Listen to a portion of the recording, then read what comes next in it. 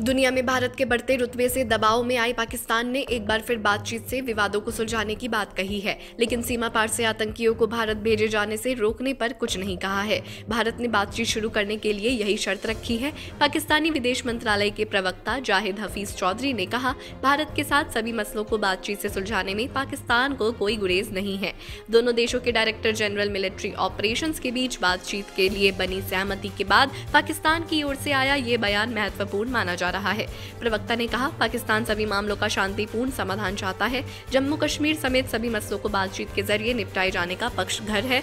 चौधरी ने कहा, दोनों देशों के डीजीएमओ नियंत्रण रेखा पर स्थिति सामान्य रखने के लिए हॉटलाइन पर संपर्क बनाए रखने पर सहमत हो गए हैं। इस दौरान समझौतों और संघर्ष विराम का कड़ाई से पालन किया जाएगा। भारत ने भी फरवरी में कहा था कि वो पाकिस्तान के साथ पड़ोसी वाले सामान्य संबंध चाहता है, लेकिन इसके लिए वो आतंक और हिंसा से मुक्त वातावरण चाहता है। ये पाकिस्तान के ऊपर है कि वो कब तक ऐसा वातावरण बनाता है।